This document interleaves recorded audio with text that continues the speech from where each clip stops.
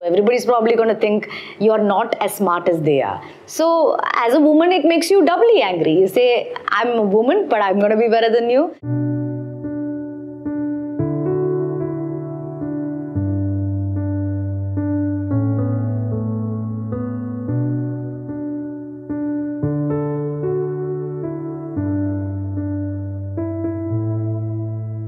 When I was in IIT, I, I think I was probably, the, I felt like I made the big jump from a small town to an environment which I felt was, I was lucky enough to be in.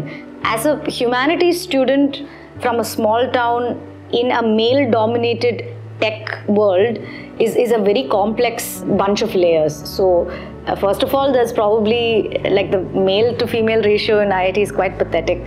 I think your modes of resistance come from excelling in things that you feel the other person cannot encroach on. And I think I found theatre in, in, uh, in IIT Madras. After that, it, it just became, um, it became important for me to pursue something which I knew would be my own. Cinema is a complicated space. It's not always going to be working for you in terms of your passion, but there are sweet spots and uh, you can eventually get there.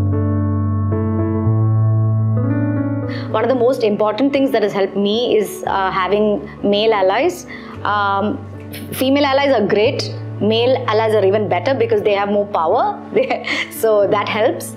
Uh, secondly, I think is to have um, a very strong support system. And the third is to just create a, a sense of self which which really gets you through something. For me, I think it's that I do not see myself as an actor alone. I see myself as somebody, as a capable woman who can flourish in any field.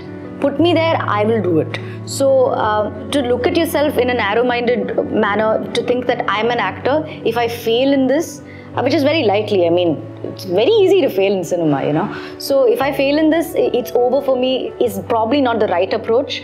It's great to have many plan Bs, many plan Cs, many plan Ds. I think I go all the way up to Z and even more. Three things when you're choosing a career. Uh, well, personally, for me, it would be financial independence. How much money are you making? Uh, purpose. How much are you fulfilling your idea of a purpose? How far can you go in this career? How far can you upskill yourself? What are your potentials for growth?